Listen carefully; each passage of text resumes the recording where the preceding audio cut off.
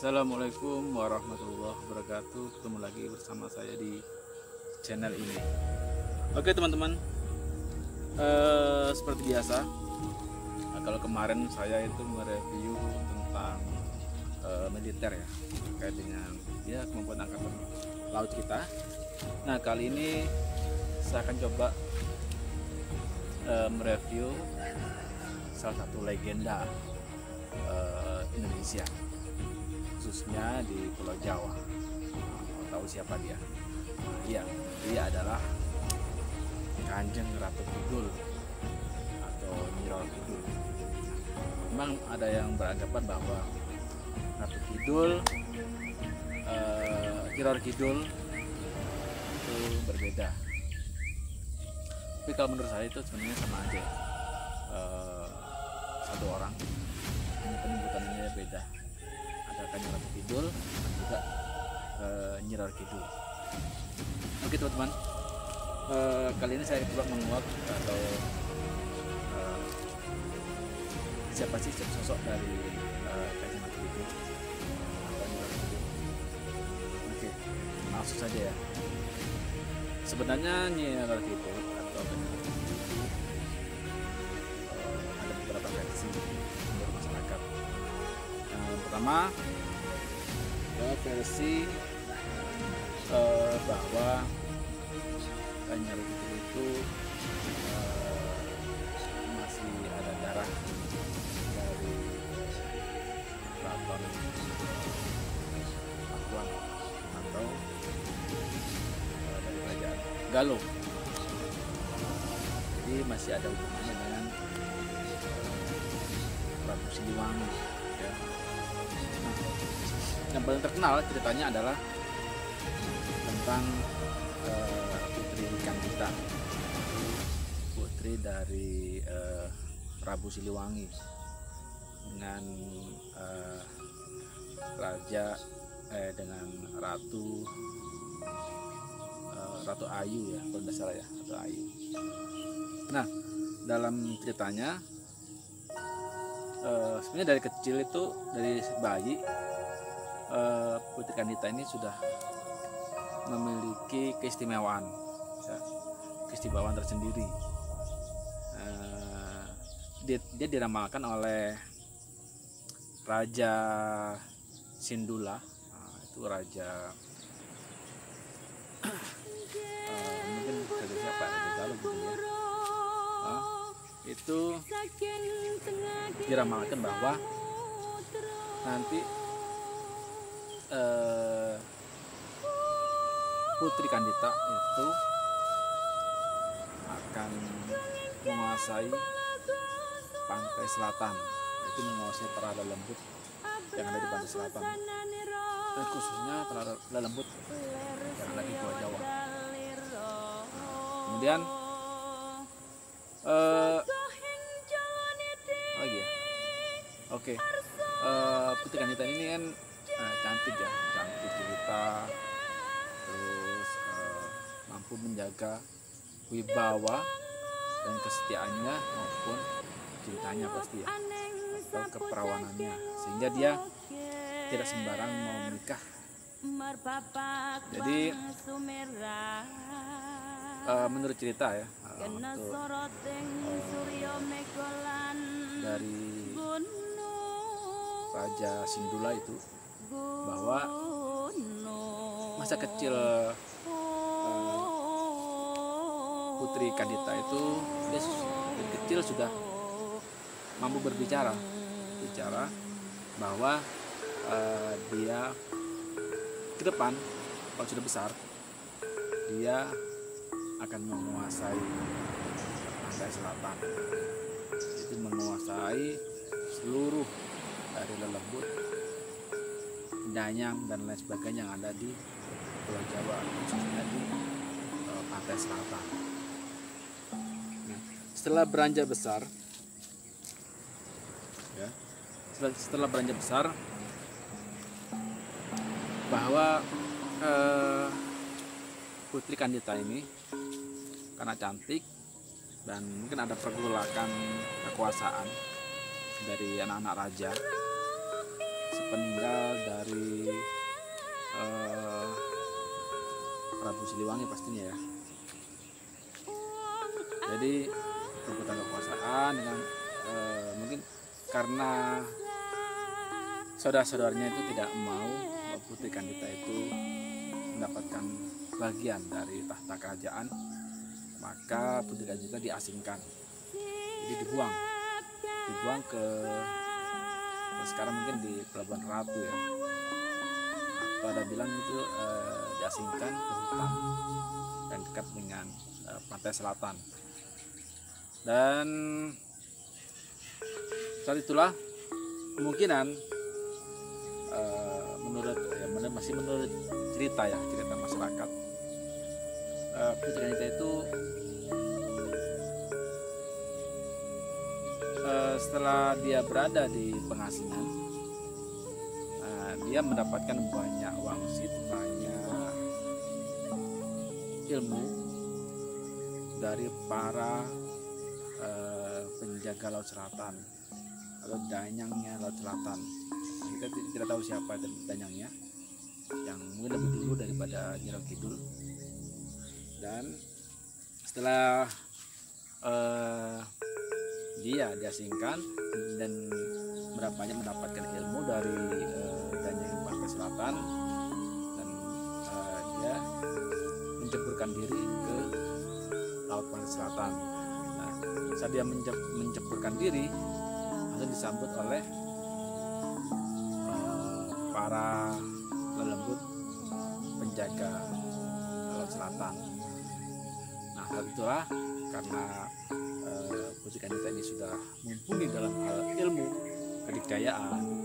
Ilmu pokoknya ya dia masuk dia mampu menguasai uh, berbagai apa ya eh, hal-hal gaib sehingga dia dinobatkan sebagai ratu di pantai selatan. Karena seperti itu. Nah, nah menurut cerita, ceritanya lagi uh, pantai atau selatan? Eh lebih selatan lagi. Menurut cerita masyarakat bahwasanya raja-raja Jawa itu berkaitan dengan uh, Kanjeng Ratu Kidul atau Nyiroro Kidul ya. Seperti halnya setiap ada upacara-upacara penobatan raja pasti akan melibatkan namanya penghormatan kepada Nyiroro Kidul. Nah, mohon izin bahkan eh, banyak menyebutkan ketika raja Mataram dinobatkan itu mereka eh, mungkin seperti anu ya jadi dia eh, untuk melanggengkan kekuasaan ataupun eh, memperkuat eh, apa ya kekuatan. Jadi dia jadi para raja itu bersinggungan dengan uh, Jawa Kidul. Seperti uh, mungkin uh, memperistri Jawa Kidul. Nah, itu sebagai anu, sebagai salah satu syarat. Sehingga seperti ya pernah kita dengar bahwa Pandeman Senopati Raja Mataram Islam itu pernah ya, menikah dengan atau memperistri Kanjeng Ratu Kidul atau Nirwal Kidul. Nah, pertemuan uh, Kanjeng Ratu Kidul dengan Panembahan Sinopati itu berawal dari ketika uh, Panembahan Sinopati itu sangat kewalahan dalam peperangan melawan uh, raja siapa ya?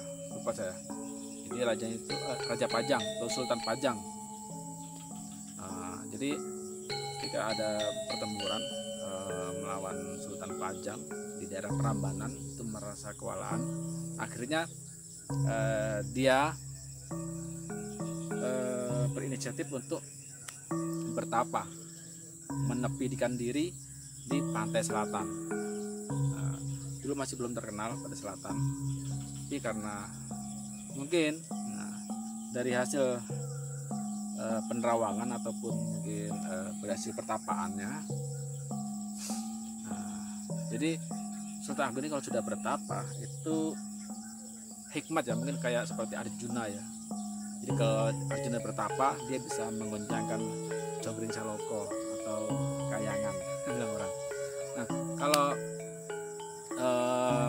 pada manusia Senopati ketika dia bertapa di tebing dari pantai selatan nah, pertapanya itu bisa menggoncangkan seluruh dari bangunan keraton istana Nyiro Kidul atau Kanjeng Ratu Kidul.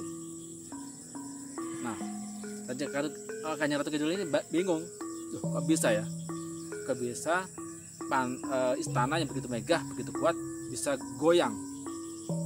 Nah, siapakah gerangan yang bisa menggoyangkan, uh, menggemparkan uh, istana dari Kanjeng Ratu Kidul di Selatan? akhirnya dia mengutus uh, para abdi dalam ataupun penasihatnya atau prajuritnya untuk melihat siapa yang sedang melakukan eh, hal-hal uh, yang menggoncangkan istana.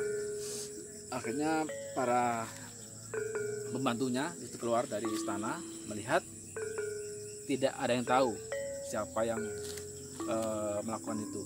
Akhirnya terdapat laporan kurang uh, menguntungkan atau kurang memuaskan akhirnya kanjeng ratu kidul itu keluar sendiri mencari sendiri akhirnya menemukan menemukan sebuah uh, itu seorang uh, pemuda yang gagah dengan perawakan besar ya dengan belangkon pastinya model sultanan dan sedang bertapa dengan keris belah di belakang. Nah setelah itu uh, penyebut kidul menyapa menyapa uh, pada Silpapi dan mengatakan uh, mengapa kamu sampai anu bertapa di depan istana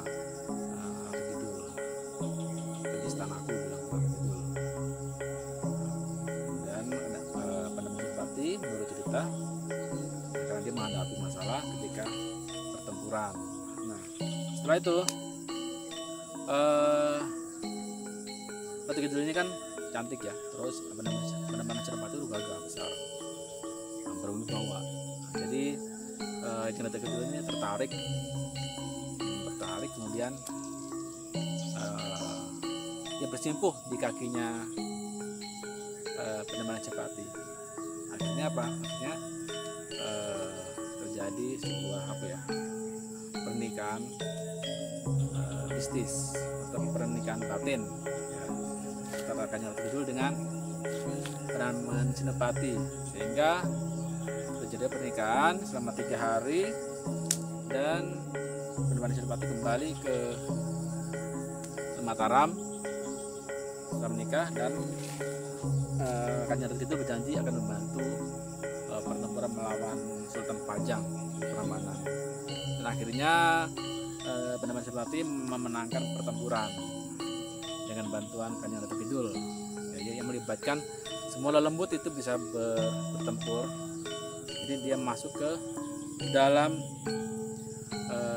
jiwa-jiwa eh, raga dari pasukan Mataram.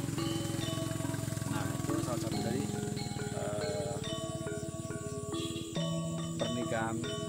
hasil pernikahan dari uh, Kidul dengan Pademangan Senopati. Nah, kemungkinan juga pernikahan batin ini terjadi di semua raja-raja Mataram. Dengan raja-raja Jogja mungkin itu. Karena uh, setiap ada penobatan sultan di keraton Yogyakarta uh, itu banyak menyebutkan kehadiran dari Kanjeng Ratu Kidul. Baik itu melalui kilatan, angin, kemudian hawa harum, kemerincing dari kereta, kencana, dan lain sebagainya. Itu petanda kehadiran dari Ratu Kidul di malam hari setelah uh, pada saat penobatan. Nah, itu sekilas tentang uh, Nyi Kidul. Dan Nyi Kidul ini ya, kalau kita melihat gambaran kesaktian yang dimiliki, dia memiliki namanya itu e, kaca penggala. Kaca penggala itu semacam cermin kecil. Jadi cermin kecil ini mempunyai kemampuan kerapian bisa melihat siapa pun yang diinginkannya.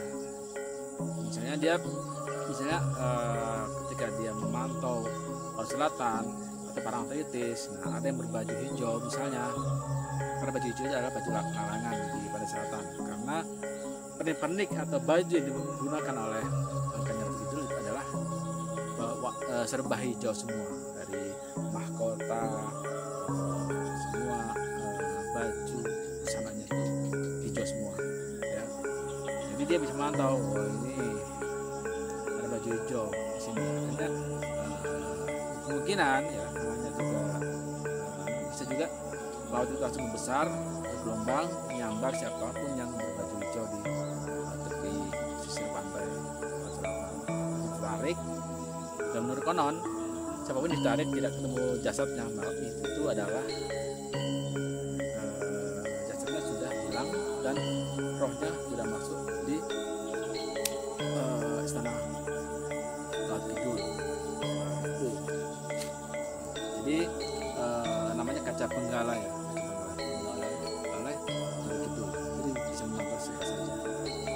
itu juga hanya untuk itu juga memiliki uh, cemati yang bisa menghancurkan uh, besar itu yang bisa dicari oleh uh, para ahli kesaktian atau para pendekar ini banyak yang bisa ketemu karena itu adalah cemati dari uh, antara uh, selatan dan dia juga banyak teman-teman bisnis nah, mistis yang menjadi uh, tempat gerbang Pantai Laut Selatan. Kalau di Pantai Baluran itu di Banyuwangi terdapat juga pintu gerbang Pantai Selatan. Jadi kemudian ada juga di Uyep. Uyep itu sebagian adalah uh, menganggap itu adalah gerbang masuknya Pantai Selatan atau Istana Laut Selatan. Kemudian ada juga di Parangtritis. Nah, kalau di Parangtritis ini mitosnya itu merupakan pusat pemerintahan dari eh, keraton atau istana Nyirar Kidul atau Kanjeng Kidul. Kalau di Pelabuhan Ratu, Pelabuhan Ratu itu tempat eh, singgah beliau ketika beliau setelah inspeksi ke mana-mana, misalnya ke Sumatera, Kalimantan, dan dia singgah di Pelabuhan Ratu. Nah, makanya kan banyak orang melihat sekilas penampakan dari Nyiral Kidul itu di Pelabuhan Ratu. Ada yang melihat uh, kemerincing uh, kereta kuda di pesisir pantai atau di Pelabuhan Ratunya atau di uh, pantai apa namanya lupa saya yang di Sukabumi. Uh, itu juga di anu uh, di. Parangtritis itu banyak orang melihat ada yang pernah melihat semacam gapura besar mulai itu apa itu melihat secara batin atau melihat secara fisik adalah uh, salah satu dari penampakan atau uh, ke kenyataan adanya uh, pantai uh, istana Selatan. Nah, kita belum tahu uh, tinggal bagaimana kita belum melihat keberadaan dari anjing ratu kidul semoga uh, ini bisa menambah pengpuasan kita ya tentang ratu kidul tinggal bagaimana nah, kita percaya atau tidak dengan ratu kidul. Saya uh, belum pernah ke sana ke pada selatan karena beberapa beberapa kali saya ke sana masih gagal ya. Apalagi dengan adanya corona seperti ini ya malah tidak bisa lagi nggak bisa lagi berkunjung ke mana-mana. Next ketika nanti agak mendingan untuk uh, cuacanya suasananya saya akan berkunjung ke pantai selatan baik yang tadi ngeliat maupun yang ada di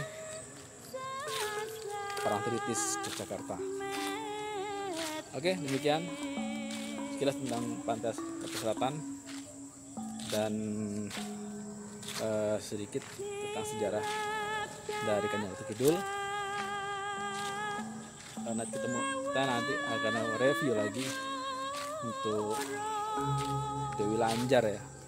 Dewi Lanjar itu adalah penguasa pantai laut utara.